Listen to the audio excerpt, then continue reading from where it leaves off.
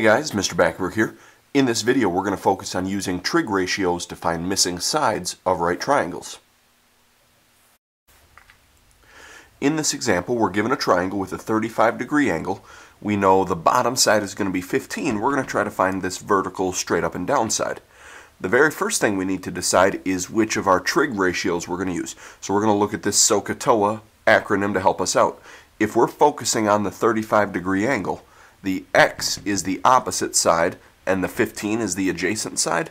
So if we check out our acronym, the tangent uses the opposite and the adjacent. So we need to set up a tangent equation. So I'm going tangent of the angle we're looking at, the 35 degree angle, equals the opposite side, which is x, over the adjacent side, which is the 15. Now what we need to start doing is solving to get x all by itself. Right now, x is being divided by 15, so if we think inverse operations from algebra, in order to get rid of divided by 15, we have to multiply both sides by 15. Now we've got x all by itself on the right-hand side of that equation. On the left-hand side, we've got 15 times the tangent of 35.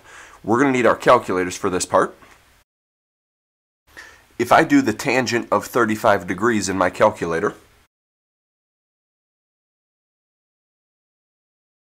I got 0.7002. So now we need to take that times our 15 that we had before.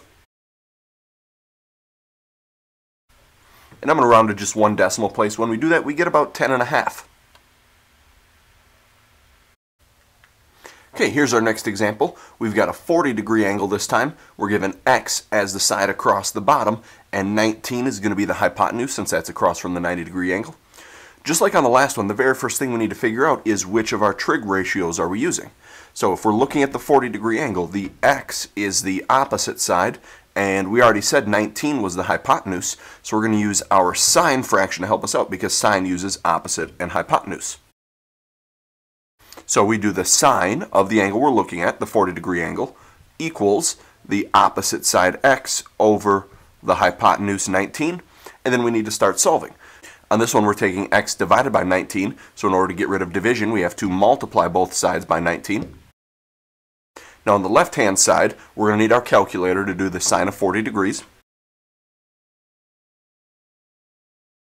When I type that into my calculator, I got 0.6428.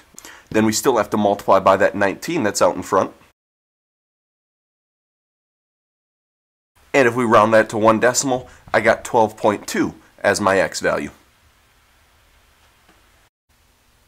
In our next example, we've got a 20 degree angle. Our x is the side across the bottom. 14 is going to be the hypotenuse. So again, we need to figure out which trig ratio we're going to set up. The x is adjacent to the 20 degree angle, and the 14 is the hypotenuse. Cosine uses adjacent and hypotenuse, so we need to set up a cosine equation. So we're taking the cosine of our 20 degree angle equals the adjacent side x over the hypotenuse 14 and now we need to work on getting x all by itself. Right now we're dividing x by 14, so in order to get rid of division, we're going to have to multiply both sides by 14. In my calculator, if I do the cosine of 20 degrees, I got 0.9397, but we still have to multiply by the 14 that's out in front. And when I type all of that into my calculator, I got about 13.2 as our x value. In our next example, we've got a 30 degree angle. Our vertical side is going to be our x that we're trying to find, and we've got 15 going across the bottom. Again, we need to figure out which trig ratio to set up. So the x is adjacent to the 30. 15 is the opposite side. We're going to use a tangent because tangent has opposite and adjacent in it. So we have to do the tangent of our 30 degree angle equals the opposite side 15 over the adjacent side x now this one's going to be a little bit different than the other examples that we've done. In order to start solving this one, we have to multiply both sides by x, because right now we're dividing by x. So we multiply both sides by x, but x still isn't all by itself. Now our equation says x times the tangent of 30 equals 15.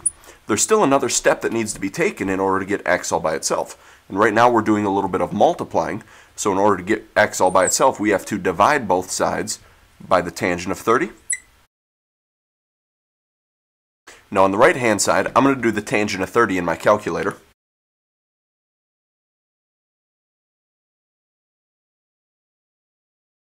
So we get 15 divided by 0.5774.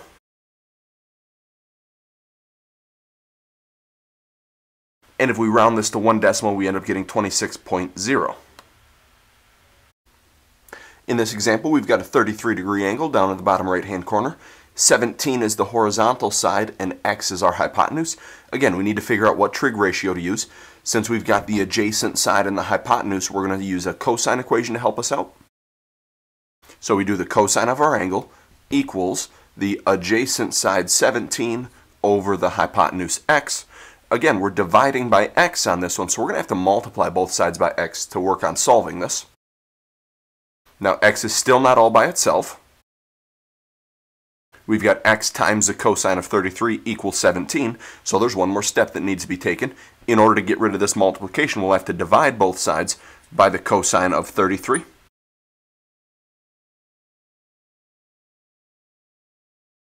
I'm going to type the cosine of 33 degrees into my calculator.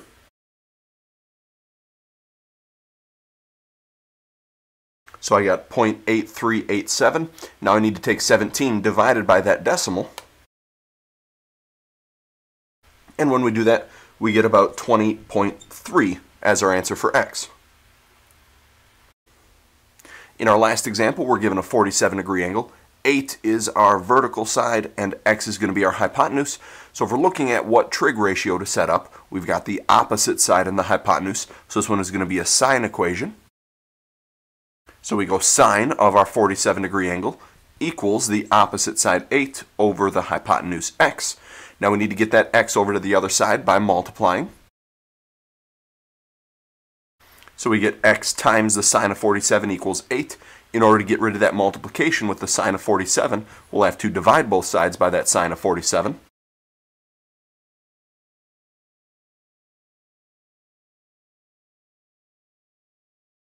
Now we'll need to take the sine of 47 and type it into our calculator. So I got about 0.7314. And now if we do 8 divided by that decimal, we should get about 10.9 as our answer. That's going to be it for this video. Thanks for watching.